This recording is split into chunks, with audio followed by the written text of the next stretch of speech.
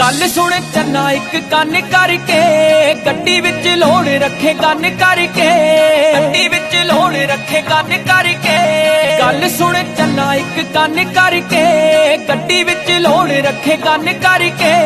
ਗੱਡੀ ਵਿੱਚ ਲੋੜ ਰੱਖੇ ਕੰਨ ਕਰਕੇ। ਪਿੰਡ ਸਰਪੰਚ ਬਾਪੂ ਆਈ ਵਾਰੀ ਬਣੇ। ਨਹੀਂ ਉਹ ਥਾਣੇ ਅੱਜ ਖੱਜਲ ਕਰਾਉਣਾ ਨਾ।